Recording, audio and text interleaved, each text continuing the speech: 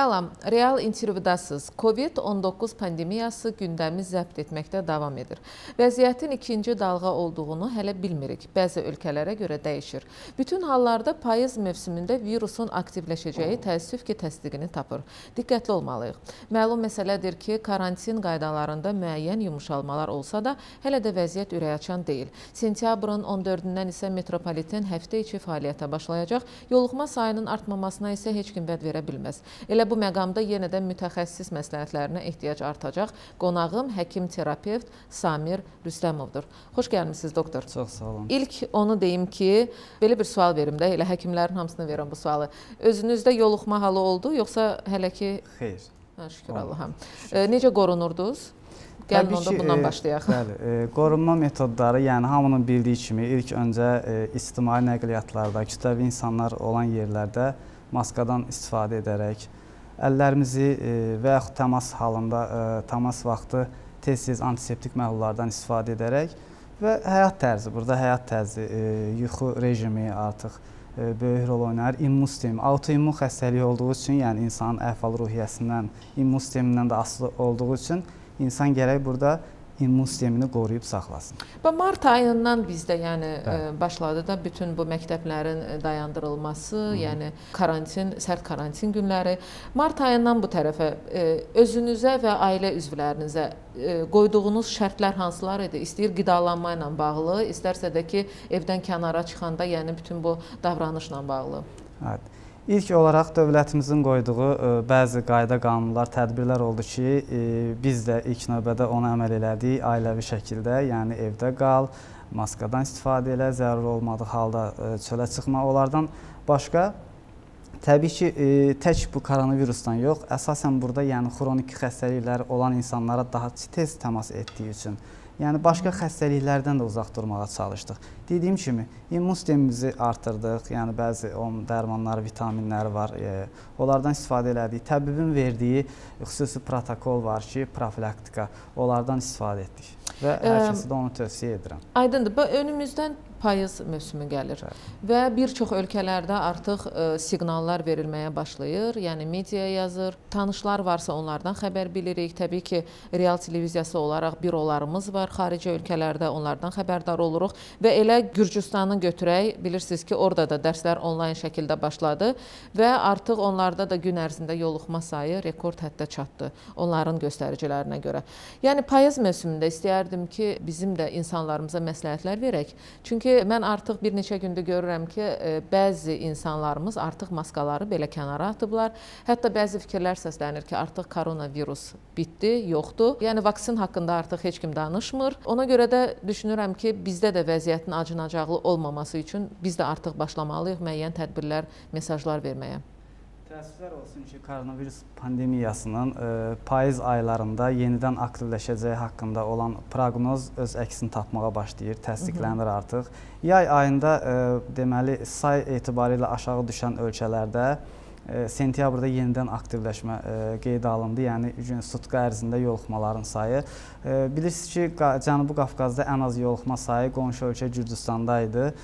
Burada ən çox yoluxma sutka ərzində aprel ayında 34 nəfər qeydə alınmışdı. Sentyabrın 2-sində artıq burada 38 yoluxma rekor həddə çatdı Hı -hı. və o rekoru sentyabrın 8-i yenidən yeniləyərək 45 nəfərə yoluxma sayı çatdı və o ölkədə xüsusi təd tədbirlər görməyə başladım, yəni məcburiyyət qarşısında.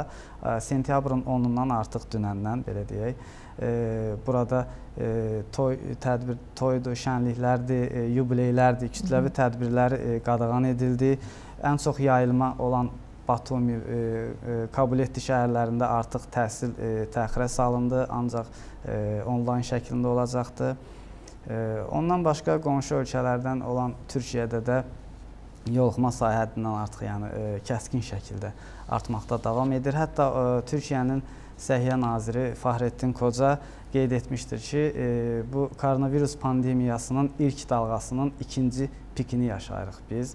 Yəni kəskin şəkildə say artımı, ölüm ölüm artımı olmuşdur və bunlar özü də etiraf etmişdir ki, nazir özü də etiraf, etiraf edib ki, bu sayın artma səbəbi də insanların bu inamsızlığı və kütləvi tədbirlər zamanı qoruyuculardan, maskalardan, yəni təhlükəsizlik tədbirlərdən istifadə etməməsidir səbəbi. Deməli, Türkiyədə bildiyim qədərilə, Bəli. yəni daha dəqiq bilirəm, əslində sentyabr ayının 21-nə qədər hələ vəziyyətə baxılacaq. Bəli. Əgər sentyabr ayının 21-dən sonra vəziyyətdə bir dəyişiklik hiss olunacaqsa, ondan sonra məktəblərdə əyani dərs keçməyə. Amma Rusiya, Rusiya ə, digər dövlətlərdən fərqli olaraq artıq əyani dərsə sentyabr ayının 1-dən start verdi və hələ ki onların gün ərzində düzdür, orada da vəziyyət ürəkaçan deyil. Ürəkaçan deyil, əlbəttə ki, dünyada artıq Rusiya 4-cü yerdədir yoluxma sayına görə. 1 milyon insan yoluxması var orada. E, virus yoluxması qeydə alınıb artıq indiyə qədər pandemiya dövründən. E, oranın da baş naziri, Rusiyanın baş naziri Boris Johnson da e, qeyd etdi. Artıq sentyabrın 9-undan onlar da yeni tədbirlər görməyə başladı. Yəni e, karantin rejimini, yəni bəzi qaydalar var ki, onları sərtləşdirməyə e, məcburiyyətində qalıblar. Əslində bir həftə, 10 gün bundan öncəsinə baxsaydıq, bizdə də yoluxma sayları ə, yəni avqust ayı üçün deyək də biraz aşağı düşmüşdü. düşmüşdü yəni bəli. amma indi bilirəm ki, artıq ə, yenə də artır və artmağa doğru gedir. Yəni əgər insanlar buna biraz da inanmasa, yəni o siz dediyiniz kimi maskalarını kənara qoysa, bəzi tədbirlərə ə, e, əməl etməsə, bu yoluxma ə, e, yəni 3 qat, 5 qat, hətta 10 qat arta bilər, yəni gündəlik yoluxma sayı. E, bir ara doktor bu xəstəliklə bağlı deyirdilər ki, yaşlı insanlar risk qrupundadır. Hə. Amma indi artıq görürəm ki, yəni artıq yaşlı insanların da bir qorxusu qalmayıb çoxsunun. Bilirsiniz, e, yaşlı insanlar dedikdə, yəni əslində xronik xəstəlikləri olan insanları biz nəzərdə tuturuq. Bu cavan insanda da ola bilər. Bronxial asması ola bilər, şəkərli diabet ola bilər, e, arterial Bir də kilo faktoru da var da bəli, burada bəli, təbii ki. Burada e, pidistrafiyasının özü də, yəni bu xəstəlikdə böyük rol oynayır. E, bu xronik xəstəliklər də özü immun sistemini aşağı salır. Bu virus olduğu üçün, yəni hüceyrə daxilində olduğu üçün e, insanın gərək birinci növbədə immun sistemi güclü olsun. İmmun sistemi də xronik xəstəlikləri olan insanlarda həmişə bildiyimiz kimi zəif olur. Ona görə onların daha çox yoluxma ehtimalı var. Bilirsiniz, biz statistikaya baxırıq.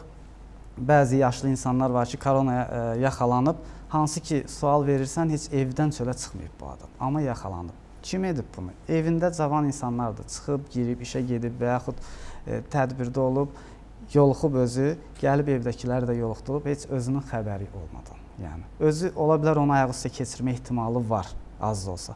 Amma evindəki o xronik xəstəliyi olan yaşlı insanın hətta ölümünə səbəb ola bilər. Deməli, e, sentyabr ayının 14-dən də bilirsiniz ki, metro da artıq fəaliyyətə başlayır. Təbii ki, e, spirt, maska, məsafə deyirik. Bunlara əməl edənlər də var. Yəni onların da haqqına girmək olmaz. Amma bir bir bəzi hallarda sosial şəbəkələrdə biz sərnişin həftə içi 5 gün fəaliyyət göstərən sərnişin daşıma nəqliyyatlarına baxırdıq. Oradakı gördüyümüz şəkillər, videolar, yəni heç də ürəkaçan deyildi. Metro fəaliyyəti dayandırıldığı üçün insanlar çox böyük bir sıxlıqla, yəni məcbur olur bir avtobusa minirlər, harasa gedirlər. Yəni orada məsafədən heç söhbət gedə bilməz. Eyni hal düşünürəm ki, artıq dərslər bilirsiniz ki, müəyyən mərhələli şəkildə keçirilir. Yəni valideynlər var ki, uşaqlarını məktəbə bəlkə də aparacaqlar metro ilə. İşə gedib gələnlər var. Ümumiyyətlə də metropolitendən yəni istifadə edənlər həddindən artıq çoxdur. Və bu halda yəni bu məsafəni necə qoruyacaqlar və buna necə nəzarət olunacaq? Yəni bu elə bir şeydir ki, bir nəfərin əlində deyir. Gərək əl-ələ versin bütün vətəndaşlar buna əməl etsinlər. Yoxsa e, yəni bu gündəlik 100-140 e, nəticə ilə qalmayacaq və 200-300-ə qədər gəlib çıxa bilər. Məcburiyyət qarşısında sonra dövlət yenə tədbirlər görmək e, məcburiyyətində qala bilər. Metronu tək təkrar bağlaya bilər. Bu insanların öz əlindədir. Dediyim kimi antiseptik məhlullardan istifadə etməlidir, maskadan mütləq istifadə etməlidir. Özünü narahat hiss edirsə, temperaturu 36.6-dan yuxarıdırsa, bəli, çalışdığı qədər metrodan ümumiyyətlə istifadə etməməlidir. Deməli, indiyədək dünyada koronavirusa yoluxanların sayı artıq 28 milyona yaxınlaşır. Təəssüflər olsun ki, bəli, yəni, onun. Çox həddindən artıq dünya 905 mində vəfat edənlər var. Birinci yerdə Amerika Birləşmiş Ştatlarıdır sayına görə e, artıq 6 e, milyon 340 min yoluxma faktı var orada. Amerika bir də bir məsələ də var da, Bəli. Amerikada kilolu insanlar faktoru da çoxdur. Bəli. Yəni bilirsiniz ki, orada daha çox fast food qidalanmaları. Çox, bəli, həyat tərzi, qida rejimindən asılı. Onlar daha çox ondan istifadə etdiyi üçün e, piyələnmə o ölkələrdə daha çoxdur. Biraz əvvəl efir başlamadan sizinlə söhbət etdik. Deyirdim ki, dietologiya əslində terapevtlərin, həkim terapevtlərin birbaşa gördükləri bir işdir. Bəli. Sadəcə olaraq bu gün biraz geniş yayıldığı üçün artıq dietoloqlar ayrıca fəaliyyətə başlayıblar. Bəli. İndi dərinə getsək mən bilmirəm onların hansı həkim terapevtdir doğrudan da, yoxsa ki, sırf dietologiyanı öyrəniblər, bu üzrə mütəxəssis olublar. Amma elə istəyərdim ki, payız mövsümü üçün bizə həkim, terapevt kimi məsləhətlərinizi verəsiniz. Çünki Aydın. siz həm də böyük bir dietoloq sayılırsınız. Aydın. Həm kilolu Bilirsiniz insanlarımız ki, götürsün burdan tövsiyələr, həm də ki sağlam qalmaq üçün. Nələrə üstünlük verməliyik? Nələrə üstünlük veririk? Deməli, ümumiyyətlə il ərzində insanlarda e, iki fəsildə dəyişkənlik baş verir. İstidən soyuğa doğru, soyuqdan istiyə doğru.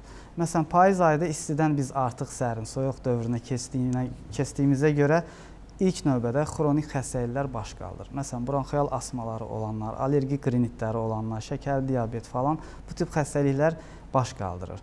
Bunun üçün ilk növbədə hansı ki ildə 2 dəfə və yaxud 1 dəfə müalicə alan insanlar var, onu təxirə salmasınlar. İlk növbədə müalicələrini davam eləsinlər. Hı -hı. İkinci növbədə e, fəsil meyvələri deyirlər. Yəni belə deyək, bu sezon mövsüm meyvələri. Mövsüm meyvələri, bəli. Mövsüm meyvələrdən istifadə etsinlər. Yəni o vitaminləri həmin vaxtda onlar qəbul etməlidir. İstifadə edə bilmirlərsə, ola bilər ki, misal allergiyası var, hansı meyvəyə qarşı həssaslığı var. Dərman şəklində onu qəbul edə bilərlər. Yəni yenə, e, yəni sözün axırı ona gəlir immun sistemi gücləndirmək lazımdır. Dediyim kimi, e, yaxın təmasdan uzaq olmalıdırlar. Kütləvi e, insanlar olan yerdən e, məcbur olmadıqda istifadə etməsinlər, maska taxsınlar, spirtdən istifadə etsinlər, antiseptik məhlullardan istifadə etsinlər. E, təbii ki, siz uşaq e, həkimi deyilsiniz, pediatr deyilsiniz. Amma belə bir sual vermək istəyirəm ki, valideynlər var hansı ki, uşaqlarını peyvənd etməlidirlər tutalım. E, məsəl üçün bir e, neçə gün əvvəl qrip peyvəndinin olunmasına dair ə, mediada, yəni xəbərlər, Bəli, video görüntülər qarşımıza çıxdı virus ərəfəsidir. Peyvənd nə dərəcədə düzgündür uşaqlara? Mütləqmi olunmalıdır, yoxsa biraz gec etmək olar? Mən ə, e, həkim kimi məsləhət görərdim ki, mütləq o peyvəndlər olsun. Bəli, peyvəndlər olunmalıdır. Çünki burada bu xəstəliyi kimlər ağır keçirir? Yanaşı iltihabı prosesləri olan insanlar. Bəzən bu həm də uşaqlara da aiddir. Uşaqlara da aiddir, bəli, Aha. təbii ki. Uşaqlar bugünkü gün bu xəstəliyi demək olar ki, çox ə, az hallarda yoluxur. O da nə ilə əlaqələr əlaqəlidir? Onların yanaşı xəstəlikləri olmadığı üçün. Hüceyrələr tez-tez bölündüyü üçün, bəli, tez-tez bölündüyü üçün və immun sistemi normal olduğu üçün onlar az yoluxur. Lakin uşaqdır, qrip də ola bilər, boğazında problem ola bilər. Həmin uşaqların bu virusa yoluxma ehtimalı artır. Ona görə peyvənddən yəni istifadə etməyi məsləhətdir. Amma eyni yəni, zamanda biz səslənməliyik ki, əgər uşaqlara peyvənd olunursa, Bəli. hər ehtimala kontakt o uşaqla az olmalıdır. Evə giriş-çıxış az olmalıdır. Ki kontakt uşaq. Çünki ümumi... bildiyim qədərilə viruslar bədənə ötürülür e, peyvənd vasitəsilə və bu halda Bəli. immunitet də biraz aşağı düşür. Həmin antiteldir də, ona qarşı antitel yaranır peyvəndlərdə, bəli. Aha. Və virusların yoluxma yolu, e, viruslar var, hava damcı yolu ilə yoluxa bilər, təmasla yoluxa bilər, qanla yoluxa bilər, tüpürcək vəsilə yoluxma ehtimalı var. Bəs tam sağlam insanlar deyək ki, hələ Hı -hı. heç yoluxmayıblar, yəni sağlamdılar, immun immun sistemlərindən əmindirlər. Hə. Yəni profilaktik hansısa bir vitamin kompleks dərmanlara başlamalıdırlarmı, yoxsa ehtiyac yoxdur? Yəni heç bir problemi yoxdursa ehtiyac yoxdur. Hı -hı. Amma ümumiyyətlə biz həkim olaraq hər bir insana sağlam oldu, olmadı, ildə 2 dəfə vitamin kompleksi məsləhət görürük. Bəs e, yoluxan insanlar var ki, hansı ki çox normal müalicələrini aldılar və döndülər Hə. normal həyatlarına. Bu insanların maskadan imtina etməsi, yəni maska taxmamaqları, antitellərin yaranması, bir daha yoluxmayacam, 3-5 ay mənim daha vaxtım var. Bir daha yoluxmayacam deyə bir şey yoxdur. Yəni Hı. həmin insanlar ikinci dəfə yenə yoluxa bilər.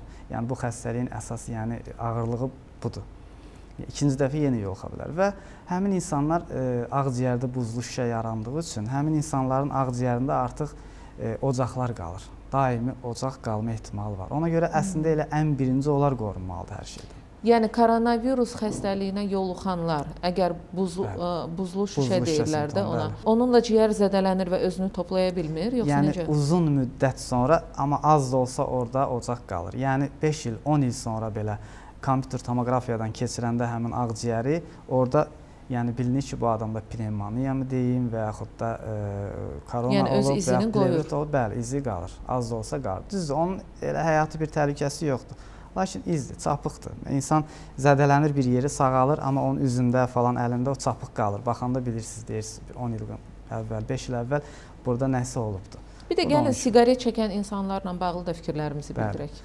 İçkidir, siqaretdir. Bir ümumiyyətlə siqaret ümumiyyətlə orqanizm bütün orqanizmə zərərlidir. İlk başda da ağciyər xəstəliklərini, yəni tetikləyicisidir. Ağciyər xəstəliklərinə e, meylli olan insanlar var ki, müəyyən bir yaş dövründən sonra həmin e, insanlarda ağciyər problemləri, onkoloji xəstəlikləri hətta ola bilər. E, siqaret tütün, yəni bunu tətikləyir, daha tez başlamasına səbəb ola bilər. Ağciyərin həyat tutumunu azaldır, alveolları dağıdır, belə deyək, kobud şəkildə. Ona görə siqaret, yəni burada böyük rol oynayır. Məsləhətim odur ki, insanlar Bəli. yəni bu verilən tədbirlərə əməl eləsinlər, maskadan istifadə etsinlər, özlərini qorusunlar. Yəni e, tək özləri üçün ətraf deyil, ətrafındakı insanlar üçün də, yəni bunu mütləq etməlidir. Təşəkkür edirəm. Qeyd edim Mən ki, studiyada qonağım həkim terapevt Samir doktor idi. Qeyd etdiyimiz kimi artıq bir çox ölkələrdə koronavirusla bağlı e, siqnallar verilməyə başlayıb. Vəziyyət e, ciddiyə doğru gedir və budur ikinci dalğa deyirdik. E, elə mart ayından bizdə bütün e, dünya mediası və öz təsdiqini tapır. Artıq havalar sərinləşdikcə viruslar, onsuz da müxtəlif viruslar baş qaldırırdı. Bir də bizim başımızın üstündə koronavirus var. Ona görə də vətəndaş məsuliyyəti yenə də burada bir nömrədir. Özünüzü qoruyun, cəmiyyəti qoruyun, ailənizi qoruyun, sevdiklərinizi qoruyun. Sağlam qalın, salamat qalın.